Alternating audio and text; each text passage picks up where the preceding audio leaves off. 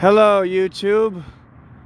We are at the site in El Paso, Texas, as you can tell by the star on the mountain here.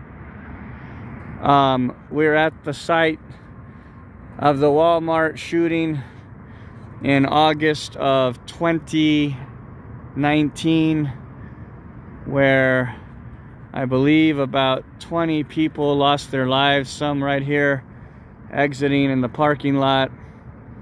So just a very grim atmosphere sometimes when you shop here. But here is the monument that was left to these victims here and there's supposedly maybe like 20 poles in this cylinder to represent the victims that died here.